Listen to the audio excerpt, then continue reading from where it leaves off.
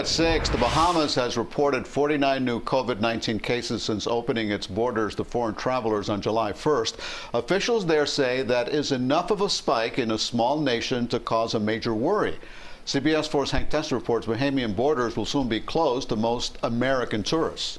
So close now, so far away. The Bahamas, thanks to coronavirus and the big spike in the U.S., our island neighbors to the east closing borders to most U.S. travelers. That means you cannot fly American Airlines, JetBlue, uh, Southwest to the Bahamas if you're coming from the United States.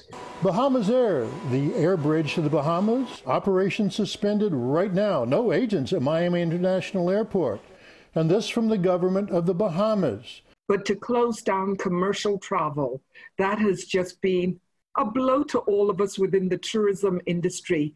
But, you know, the uptick in COVID cases in the Bahamas, knowing what our facilities are, what we're able to manage, I think the government had to make the decision that it did just in the best interest of everyone.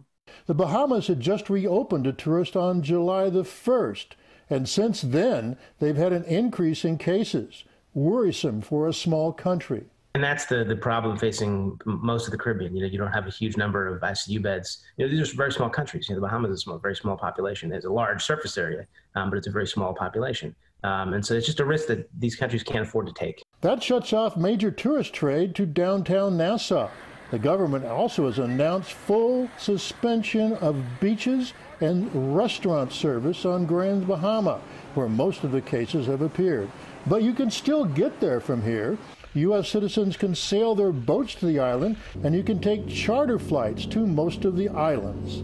Folks can still get to those condos on Bimini. If you're a boater, if you're taking a pleasure craft, taking your own boat, you can still do that. However, anyone who's coming to the Bahamas has to show proof of a COVID negative test taken within 10 days of their trip.